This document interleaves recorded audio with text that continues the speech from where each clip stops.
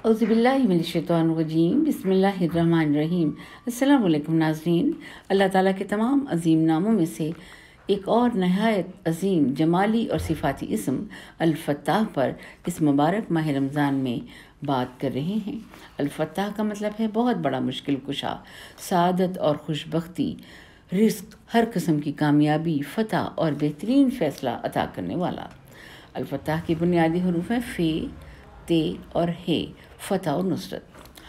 अल्लाह ताला का ये मुबारक नाम अलफ़त्ताह कुरान पाक में सिर्फ़ एक मरतबा आया है।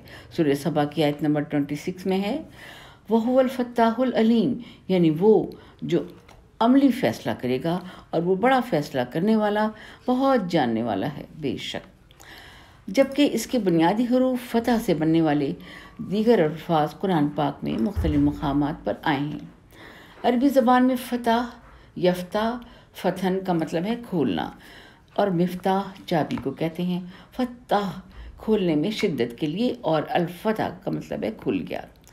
लेकिन ज़मीन की बलाई सतह पर बहते हुए पानी मदर नुसरत और दो झगड़ने वालों के दरमियान फ़ैसला करने को भी फ़तह कहते हैं। जैसे फ़तहुल हाकिम, बेनहुम हाकिम ने उनके दरमियान फ़ैसला कर दिया।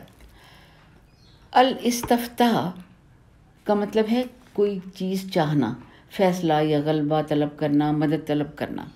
अलमुफ्ता ख़जाने को कहते हैं अलफत्ता, हाकिम और बड़ा फ़ैसला करने वाला, मुश्किल और पुरपेच मामलात को खोलने और हक़ ज़ाहिर करने वाला होता है, जो यकीनन अलफत्ता यानी हमारा रब है।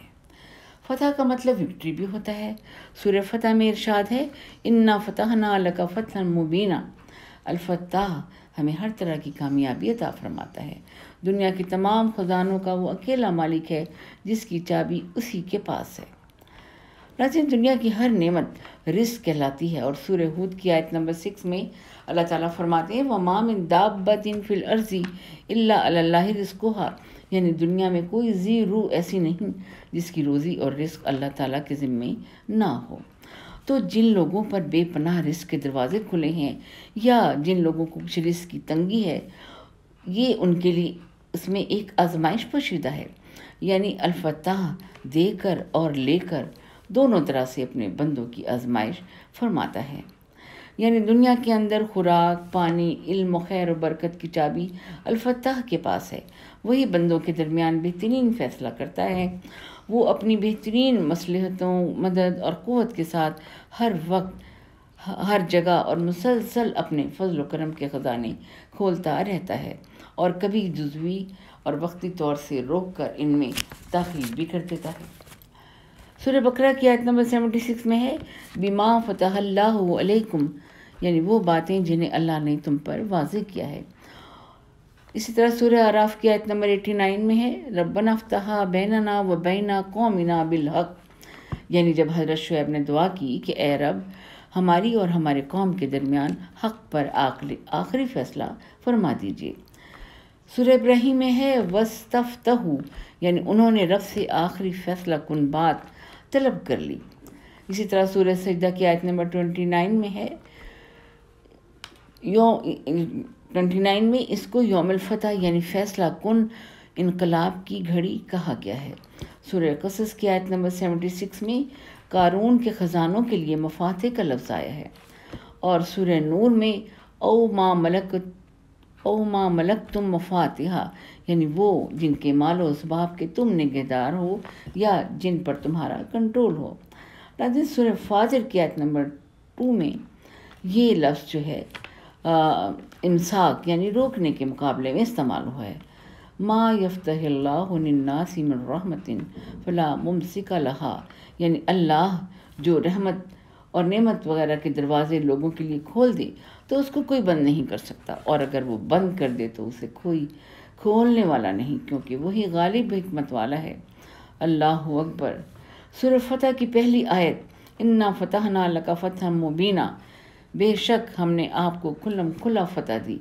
यानी बेहद तफसील से रब ताला फरमाते हैं, गोया ज़िंदगी की नई राहें खोलने वाज फ़ैसला कन इनकलाब का हसूल।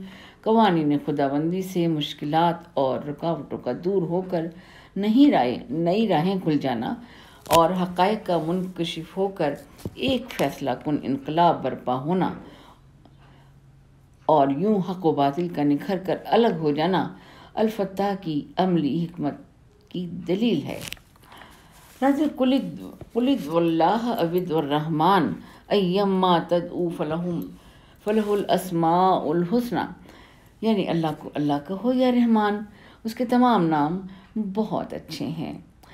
कहते हैं कि मस्जिद में दाखिल होते वक्त या फतह पढ़ने का बहुत अजर सवाब है।